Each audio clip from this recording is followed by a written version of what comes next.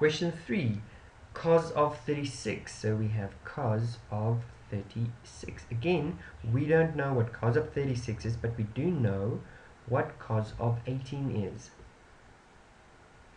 So we need to write 36 in terms of 18. So we can say, well, that's the same as saying cos of 2 times 18.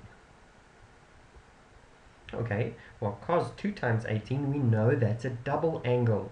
That's a double angle, and for cos, that means we can either have it as cos, sorry, cos squared 18 minus sine squared 18 or 2 cos squared 18 minus 1 or 1 minus 2 sine squared 18 so the double angle formula for cos has three ways of expressing it. Now since we know what cos of 18 is of course it would be better to use this one.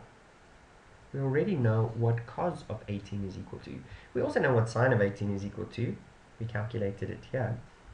But it's just going to be simply using that expression okay and so let's go and answer question 3 okay cos of 36 first we need to write cos of 36 just in terms of cos in other words of cos 18 okay so that would be 1 uh, sorry 2 times cos of 18 squared. So again remember that we take the whole cos and 18 and square that. Minus 1 let's just preview. Syntax is okay cool. And there we go. 2 cos of 18 squared minus 1 2 cos 18 squared minus 1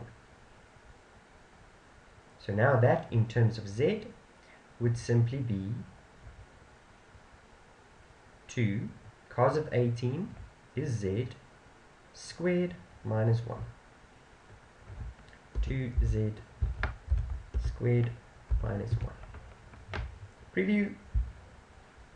Great stuff. 2z squared minus 1.